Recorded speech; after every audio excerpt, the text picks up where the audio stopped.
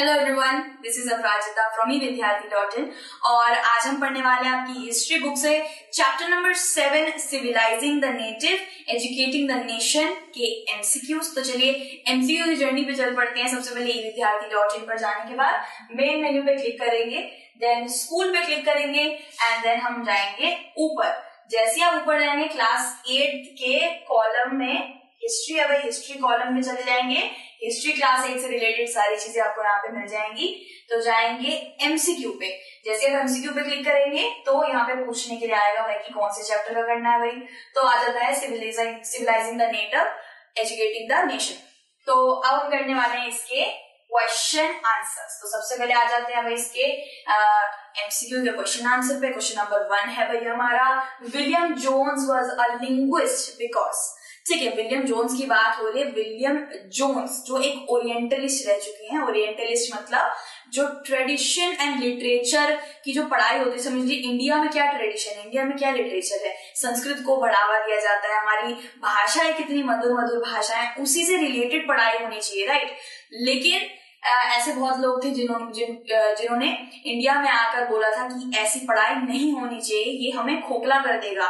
Indians को खोखला कर देगा तो इंग्लिश वाली पढ़ाई होनी चाहिए यूरोपियन पढ़ाई होनी चाहिए यूरोपियन मैनर्स आने चाहिए। सो विलियम जोन्स इन एक ओरिएंटलिस्ट थे जो चाहते थे कि इंडिया में इंडिया के ट्रेडिशन और कल्चर के ही रिलेटेड पढ़ाई हो।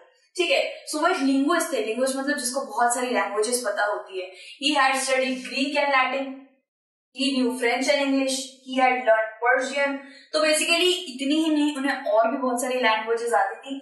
फ्रेंच इंग्लिश पर्शियन आती थी. पर्शियन उन्होंने अपने दोस्त से सीख ली थी. ग्रीक और लैटिन उन्होंने ऑक्सफोर्ड में सीखी थी. तो बेसिकली बहुत सारी लैंग्वेजेस उन्हें आती थी. इवन उन्हें संस्कृत लैंग्वेज भी बहुत अच्छी आती थी. ठीक है, साथ साथ वो मेडिसिन एर्थमेटिक्स ऐसे बहुत से सब्जेक्ट्स में महारथी थे. तो अब आ जाते क्वेश्चन नंबर टू पे. Who set up Asiatic Society of Bengal Asiatic Society of Bengal जहाँ पे बेसिकली इस चीज़ के ऊपर बढ़ावा दिया जाएगा कि सारे के सारे जितने भी इंडियंस हैं, उनको उन्हीं के कल्चर और ट्रेडिशन से रिलेटेड पढ़ाई करनी चाहिए। सो एक सोसाइटी बिठाई गई थी जहाँ पे बनारस में यूनिवर्सिटी बन रही थी, कोलकाता में बन रही थी, बहुत जगहों में यूनिवर्सिटी बनाई जा रही थी ब्रिटिश ऑफिशियल्स के द्वारा। तो बहुत अच्छी बात थी right so basically Asiatic Society of Bengal तीन लोगों ने साथ में मिलकर इसे स्टैब्लिश किया। था बेसिकली यहाँ पे ऑप्शन है William Jones Henry Thomas Colebrooke and Nathaniel Halhed तो ये Henry Thomas Colebrooke and Nathaniel Halhed ये दोनों ब्रिटिश ऑफिशियल्स थे एंड विलियम जोन्स एक ओरिएंटलिस्ट थे। So, तीनों ने मिलकर इस सोसाइटी को बनाया था। ऑल ऑफ़ दीज होगा इसमें। अब आ जाते हैं क्वेश्चन नंबर थ्री में मदरसा setup in Kolkata in the year so basically मदरसा भी बनाया था यूनिवर्सिटी बनाई थी बनारस में सारे ब्रिटिश ऑफिशियल्स ने। सो बेसिकली मदरसा इसलिए बनाया गया था जिस वजह से जितने भी लोग हैं जो मदरसे में पढ़ना चाहते हैं पर्शियन इस्लामिक लॉ उर्दू जो जो भी पढ़ना चाहते हैं वहाँ पे पढ़ पाए। ठीक है अपने इंटरेस्ट से रिलेटेड पढ़ पाए। तो ऑप्शन क्या होंगे? 1750, 1761, 1771, 1781 जैसे आपके बुक में गिवन है। तो भाई आंसर आ जाता है 1781 में मदरसा सेटअप करा गया था कहाँ पे? कोलकाता में, ठीक है? For Persian Islamic laws for Persian language Islamic laws ठीक है? आंसर हमने कर लिया है। क्वेश्चन नंबर फोर पे आते हैं। According to whom English education had enslaved Indians तो किसने बोला था भाई कि कि मतलब किस महारथी भाई, किस महात्मा ने बोला था कि इंग्लिश एजुकेशन ने हम इंडियंस को बेड़ियों में बाँध लिया है, हम लोगों को स्लेव बना लिया है। तो बेसिकली मैंने बोलते बोलते आपको आंसर भी बता दिया, महात्मा। ठीक है? तो बेसिकली महात्मा गांधी जी ने ये बोला था। एक्चुअली वो उसके काफ़ी ज़्यादा अगेंस्ट थे English language and European art and culture वो चाहते थे कि हमारा कल्चर है ट्रेडिशन है और सच में इंडिया इंडियन कल्चर के बारे में जाना जाएगा। यहाँ पे यूरोपियन कल्चर होगा तो बेसिकली इंडियंस जाने कैसे जाएँगे कि वो किस चीज़ के लिए मशहूर है।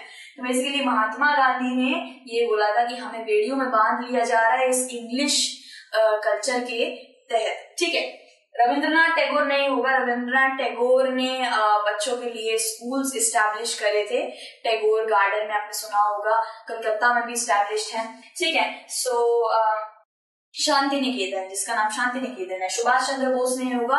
ही इज़ इंडियन रिवॉल्यूशनरी उन्होंने इंडिया को इंडिपेंडेंस दिलाने में अपनी सहायता करी है। ठीक है, आचार्य विनोबा भावे भी नहीं होगा। आचार्य विनोबा भावे भी एक बहुत अच्छे फिलोसोफर रह चुके हैं। ठीक है सो आंसर होगा Mahatma Gandhi. Question number five है education act was introduced in year अब क्या हुआ था? एजुकेशन एक्ट एक इंट्रोड्यूस कर दिया गया था जिसमें बोला गया था कि अब इंडिया में सिर्फ़ और सिर्फ़ यूरोपियन कल्चर की पढ़ाई होगी इंग्लिश की पढ़ाई होगी इंग्लिश लैंग्वेज को यूज़ करा जाएगा। ठीक है सो so, ये एक पर्टिकुलर एक्ट कब स्टैब्लिश हुआ था? So so, 1835 will be the right answer 1835 को ये एजुकेशन एक्ट को इस्टेब्लिश करा गया था by Macaulay Babington Macaulay Babington Macaulay और जेम्स मिल जैसे ये जो लोग हैं और वुड चार्ल्स वुड ये कुछ बहुत बड़े बड़े नामचीन ब्रिटिश लोग थे जिन्होंने साफ़ साफ़ बोल दिया था कि इंडिया में इंडिया के कल्चर वाली पढ़ाई नहीं होने देंगे, वरना ये लाइक खोखला कर देगी एक तरीके से किसी काम की नहीं है। उनका ये मानना था। सो बेसिकली इसके ऊपर एक एक्ट बना दिया था कि सारे बच्चे इंग्लिश टेक्स्ट बुक्स पढ़ेंगे यूरोपियन मैनर सीखेंगे। ठीक है 1835 will be the right answer आ जाते हैं क्वेश्चन नंबर सिक्स पे एशियाटिक रिसर्च जो हमने कहा था कि एशियाटिक सोसाइटी ठीक है एशियाटिक सोसाइटी विलियम जोन्स और हेलहेद ने और कॉलब्रुक ने स्टैब्लिश करी थी। तो इसमें बेसिकली एक जर्नल भी निकलता था, उसी से रिलेटेड एक जर्नल निकलता था जिसका नाम था एशियाटिक रिसर्च जैसे आप अखबार पढ़ेंगे तो उसमें साइड में जर्नल होता है, वो बंदे पढ़ेंगे तो उसे पता चलेगा कि हाँ जर्नल है। उससे काफ़ी ज़्यादा लोगों को पता चलेगा कि एशियाटिक सोसाइटी थी क्या। तो वही था एक एशियाटिक रिसर्चेस ये जर्नल थी वॉज़ नॉट स्टार्टेड बाय तो इनमें से किसने एशियाटिक रिसर्चेस को स्टार्ट नहीं किया था? तो विलियम जोन्स ने तो करा था, हेनरी थॉमस कॉलब्रूक ने भी करा था, नेथेनियल हेलेद ने भी करा था। बेसिकली विलियम कैरी ने इसको स्टार्ट नहीं करा था। हमें बता दूँ कि विलियम कैरी भी एक फिलोलॉजिस्ट रह चुके हैं। साथ ही साथ उन्होंने उनका सरेम सिरमपुर सिरमपुर मिशन सिरमपुर मिशन में उनका बहुत बड़ा योगदान था जिसके अंदर कलकत्ता में यूनिवर्सिटीज उन्होंने बनाने में आ, काफ़ी ज़्यादा अपना योगदान दिया था। मतलब कि यूनिवर्सिटी कलकत्ता में यूनिवर्सिटीज बनाई गई थी। सिरमपुर एक्चुअली हुगली के पास ही है। जहाँ पे हमारे जितने भी इंडियन बच्चे हैं, वो जाके अपनी ट्रेडिशन और कल्चर की पढ़ाई कर पाए। So basically he was also good man William Carey ठीक है? देन आ जाते हैं हम क्वेश्चन नंबर सेवन में। Which of the following was not the purpose of setting up Madrasa in Calcutta in 1781 तो ऐसा कौन सा इनमें से पर्पस आपको लग रहा है नहीं था मदरसा सेटअप करने का कलकत्ता में। तो बेसिकली मदरसा सेटअप इसलिए करा गया था जिससे इस्लामिक लॉ पर्शियन लॉ ये सब बच्चे सीख पाए। ठीक है? तो इनमें से कौन सी लैंग्वेज में पढ़ाई नहीं जाती थी? अरेबिक इस्लामिक पर्शियन लॉ वहाँ पे पढ़ाई जाती थी पर्शियन लैंग्वेज पढ़ाई जाती थी। So so, Gujarati will be the right answer भाई वहाँ गुजराती लैंग्वेज नहीं पढ़ाई जाती थी। मदरसा में गुजराती का कोई इस्तेमाल नहीं होता। ठीक है? Right answer will be seventeen eighty one में ये पर्पस नहीं था।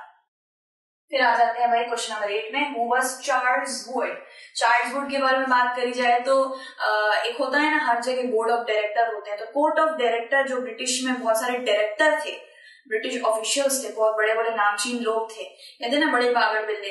तो उनकी बात तो सुननी पड़ती है। तो चार्ल्स वुड उनमें से एक थे। Charles Wood the president of board of control of the company थे। पूरी जो कंपनी राज थी जो विक्टोरिया क्वीन विक्टोरिया के अंडर थी इंडिया तो उस वक्त क्वीन विक्टोरिया के अंडर था ना, लेकिन उनसे भी नीचे नीचे कुछ लोग होते हैं जो उनके लिए काम करते हैं। तो president of board of control of the company रह चुके हैं Charles Wood Charles Wood Wood's dispatch नाम का एक चीज़ आया था, जिसके अंदर बोला गया था, सिर्फ़ यूरोपियन लॉ मैनर्स ये सब भी पढ़ाया जाएगा। So Charles Wood was the president of board of control of the company ठीक है और ये चार्ल्स वुड हो गए जेम्स मिल हो गए बॉबिंगटन मैकॉले हो गए ये कुछ ऐसे लोग थे जो आ, हमारे जितने भी वहाँ पे इंडियन लोग थे उस वक्त में ब्रिटिश एम्पायर के अंदर सबको European manners European art Christianity इन सब में तब्दील कर देना चाहते थे।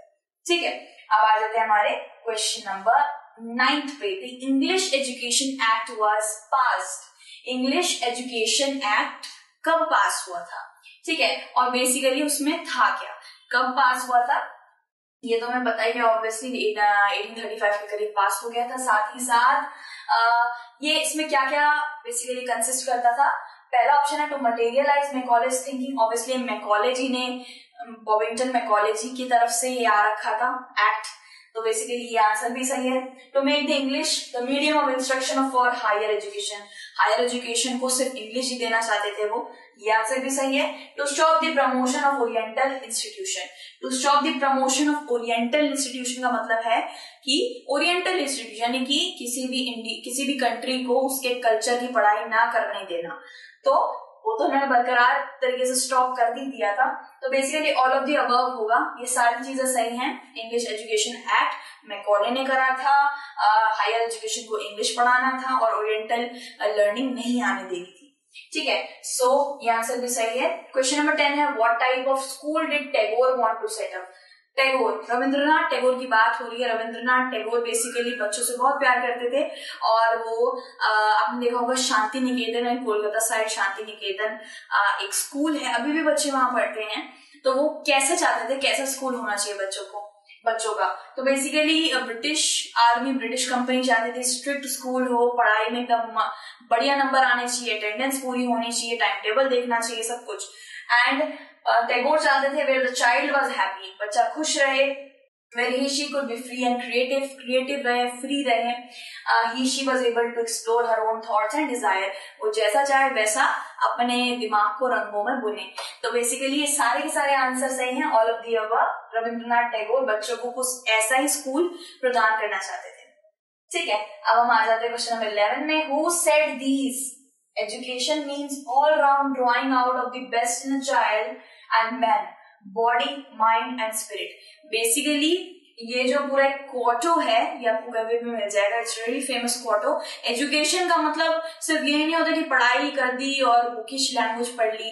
बेसिकली अगर बच्चे को मज़ा ही नहीं आ रहा है पढ़ने में तो वो पढ़ाई नाम की मतलब नाम की पढ़ाई रह जाएगी राइट सो बेसिकली मज़ा आना चाहिए स्पिरिट को भेदनी चाहिए, ऐसी पढ़ाई करवानी चाहिए। बॉडी तंदुरुस्त, ताज़ा एकदम स्वस्थ हो जानी चाहिए स्वस्थ हो जानी चाहिए उस पढ़ाई से। साथ ही साथ माइंड को भी कुछ इफ़ेक्ट मिलना चाहिए, ऐसी पढ़ाई होनी चाहिए। बेसिकली एजुकेशन बेसिकली एजुकेशन ऐसा कराना चाहिए, पढ़ाई ऐसी करानी चाहिए जिससे पूरा ऑलराउंड हमारी बॉडी को तंदुरुस्ती मिल जा रही है उस वक्त पे। तो ऑप्शन है Rabindranath Tagore, Mahatma Gandhi, Swami Dayanand Saraswati none of these so basically Mahatma Gandhi will be the right answer Rabindranath Tagore ने क्रिएटिविटी बच्चों की बढ़ाने के लिए स्कूल बनाया था। स्वामी दयानंद, सरस्वती आपके चैप्टर नंबर एट में वुमेन कास्ट रिफॉर्म वाला जो चैप्टर है, उससे रिलेटेड है ऑब्वियसली ये वुमेन्स का अच्छा करना चाहते थे बेसिकली यहाँ से बिल्कुल इनका कोई नाता नहीं है। एंड नन ऑफ़ दीज भी नहीं होगा आंसर होगा महात्मा गांधी। महात्मा गांधी चाहते थे कि एजुकेशन इस तरीके की हो। तो हम रिज़ल्ट देख लेते हैं, भाई रिज़ल्ट है हमारा। Eleven of eleven correct question के आंसर दे दिया हमने। आप जितना इससे प्रैक्टिस करते जाएँगे, उतना आप एक्सपर्टीज होते जाएँगे, मुझे पता है। ठीक है? सो बेसिकली अगर आपको स्टडी रिलेटेड हेल्प चाहिए ई विद्यार्थी डॉट इन की वेबसाइट पे जाइए। टोटली फ्री है, हिंदी इंग्लिश दोनों में है। एंड एमसीक्यू क्वेश्चन पेपर सब कुछ आपको वहाँ अवेलेबल मिलेगा। एंड हम फिर से मिलेंगे एक अनदर इंटरेस्टिंग चैप्टर या फिर एमसीक्यू के साथ। टिल दिन अपना ध्यान रखिए। Take care bye bye